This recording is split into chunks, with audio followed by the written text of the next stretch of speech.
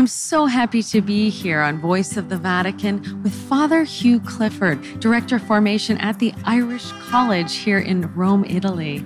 And Father, welcome to Voice of the Vatican. Thank you for being with us. Thank you very much, Ashley, and welcome to yourself to the Irish College here in Rome. And it's great to have you and Shalom World TV here. Father, thank you. Father, would you tell us about the history of the Pontifical Irish College and, and how it ended up right here in the middle of Rome, Italy? This is the Irish College in Rome, the Pontifical Irish College. It's, uh, it dates back to 1628, not the current building, but in the 17th century, after the Reformation, there was religious persecution in Ireland, and it was impossible to organise seminaries or to train priests properly in the country itself. And so a solution was found by the bishops and the priests in Ireland in setting up a network of continental colleges, colleges in significant European cities where they could train priests and smuggle them back into Ireland to minister to the people. So, an obvious place to start one was in Rome.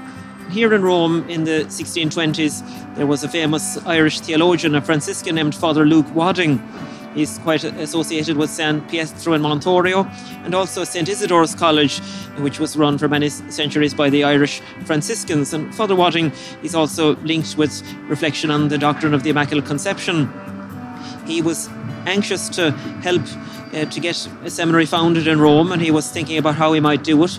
And there was also a cardinal here, Cardinal Ludovico Ludovisi, who was the nephew of the Pope at the time.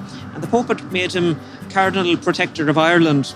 And sometimes those kind of titles at that time, because of the distance and travel, a, a title might be a, a, bit empty. But Cardinal Ludovico Ludovisi was keen that his he would actually do something for Ireland. So he and Father Luke Wadding got together and they founded an Irish college here in Rome. And the first site was on Franciscan uh, property over near St. Isidore's, and Father Luke Wadding arranged the teachers and the, the premises. The college moved for various reasons at different times. Before coming here, it was for 90 years um, over near the Roman Forum at the Church of St. Agatha dei Goti, near the Angelicum University. And, and the Bank of Italy was next door. The bank was anxious to expand, so they offered the Irish uh, to, to, buy them out so that they could move. And the rector at the time, Father Hagan, organised uh, collection in Ireland and put the monies together and put huge effort and work into building the college, a new purpose built on the site. So he was able to buy the site and build the college. And you can actually see a video, video on our website of the college being built and the bishops coming to inspect the building of the college at the time. So formation for the priesthood has always been the, the main mission of the college. Um, it does other things too nowadays, as well as formations for the priesthood, um, formation of postgraduate priests from all over the world that they come here, and it's a, a little continuation of the Irish mission in ways when we don't have as many missionaries these days. That those who come here to receive ongoing formation, uh, learning, doing uh, licenses and doctorates and theological subjects are able to go back and teach in their own countries. So. Um, but as I say, formation for the priesthood is the, the core of the work that goes on here, and now we have 14 seminarians from Ireland. Father, would you tell us about the formation that happens right here inside of the Pontifical Irish College? The formation is the primary activity of the college, the formation of the uh, priests, and we have 14 seminarians for Irish dioceses here at the moment.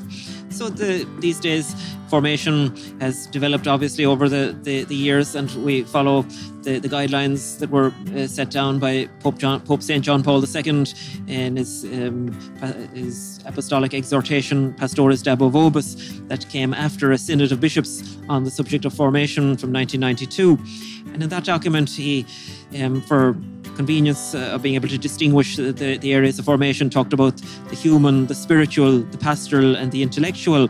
So we um, organise and provide formation under those four umbrellas. Now, of course, there's a lot of overlap between them. But in the human area, we look at the person themselves to help a person develop because John Paul talked about the humanity of the priest being a bridge to Christ, that uh, the humanity of the priest should lead a person to be able to encounter Christ. And of course, we all have our faults and failings. So it's a, matter of developing, being able to be the best person, developing the candidate for the priesthood's potential to the to the best possible. So that can involve the psychology area, human development in a whole lot of different ways, even the, the culture of Rome. And Pope Francis often talks about community formation. That's a part of it, living together in seminary is important because living up close to each other, we get to, to know each other quite quite well, each other's strengths, each other's weaknesses, and help each other to develop as human beings. So then there's the pastoral, and that's reaching out to people. Uh, so all the formation has a pastoral aim, as John Paul said, being able to take the gospel to people, to meet them like Christ. Uh, um, to, to take the gospel and evangelize evangelize people and be able to, to listen to them and be with them to be the have the presence of the church reaching out to them. Then the spiritual um, we have nothing to give if we're not in communion with, with Christ himself um, in prayer to God. So we have a spiritual director on the staff Father Tom Norris and he helps the, the uh, students in their, their prayer lives and he meets them one to one. Then the spiritual direction relationship it's not quite the same as confession, but yet there's a confidential nature to it where a person is able to open their souls and let the spiritual director be like a friend to, the, to their soul. Anam Cara is the word in the Irish tradition, um, helping them to, to, lead, to discern where the Spirit is, is leading them and the Jesuit tradition, that difference between consolation and, and desolation. And then the intellectual, our students go to various universities in Rome where they do degree courses in philosophy and theology. And that's, as St. Peter's letter talked about, giving the reasons for the hope that is in us so that they would be able to, um, to talk to the people of our times, to answer their questions, to grapple with their questions. And so many people are educated to such a high standard now that they need to be able to, to know that the faith is reasonable. It's not just some fairy tale uh, or, or, something not to be taken seriously, that faith and reason um, support each other and are, are like the, these two wings. So these four areas are very important to us, and there's lots of overlap between them. And um, the city of Rome is an ideal place to, to engage in all, all this, in the pastoral area, what I was talking about. Our seminarians do various outreaches, they give catechetical preparation for First Communion and confirmation to children through the English language on Sunday mornings here. And then the, our other seminarians go out on the streets with the Sant'Egidio community, one of the new movements in the church, looking after the poor on the streets of Rome. And they, they visit the poor people, not just to give them food, they do that, yes, but to um, reach out the hand of friendship to them as well and, and, get to know them. And some very deep relationships are built there. And it's genuinely seeing the face of Christ in the poor and the poor being able to see the face of Christ and the seminarians who visit them. What is your role, Father, as the director of formation? My role is as director of formation. So, in that role, I'm in cooperation with three other priests who are on the staff of the college. There's the rector, the vice rector, the spiritual director, and then my role is as a direct contact with the seminarians, being with them in their day to day lives. So, both accompanying them and helping them to be the best priests that they can be, and also discerning in a few different directions, discerning with the seminarian as to his readiness to continue forward for priesthood, um, whether he will be ordained or not, and discerning kind of on, on the part of the church as well that the, the church does have to decide is this person suitable for the priesthood? Is, is this his call? Everybody has a, a call in life. So um, if a person comes here, it's a very brave and good choice to, to discern a vocation to the priesthood. But not everybody is necessarily called to that. And sometimes people who go through seminary but don't stay can make wonderful um, married people and all the other roles in the church. So then my role would involve a good bit of organisation, organising the, the, lives of the seminarians, figuring out timetables, um, arranging the speakers who come in to help us with the, the various areas of, of formation. And I suppose plugging the seminarians into what's going on around us here here in Rome, um, helping them and advising them on, on what, what they're doing um, in all facets of, of their formation journey, and giving inputs to them as well on the different areas of, of priestly life, some of the liturgical and practical and pastoral um, training that they need for parish life and other ministries when they're ordained. Why is it important for these seminarians to be formed here in Rome in the heart of the church?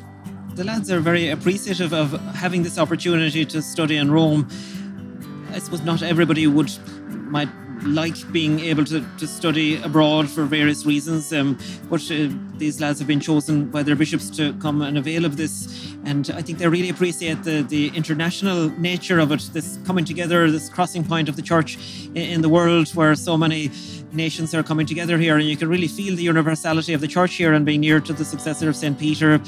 And I think the, the sense of history, there's history on every street corner in Rome and meeting so many devotions to the saints and being walking the, the trails of the martyrs, the, the station churches of Lent.